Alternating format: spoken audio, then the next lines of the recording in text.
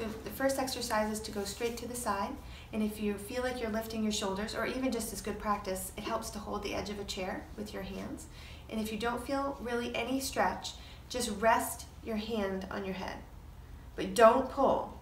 And then the second and third are the same. We said you're going to look down for one. You're still bent to the side. You look down. Same thing if you need to. Rest your hand. And then you're going to look up for the other one. This one's very awkward. I don't suggest you pull on this one at all. If you're a patient at Apex Wellness Providers, this video has been made for you to help assist in your technique for your health and wellness journey. If you're not a patient, please use this for educational and entertainment purposes and is never a substitute for your own individual medical advice.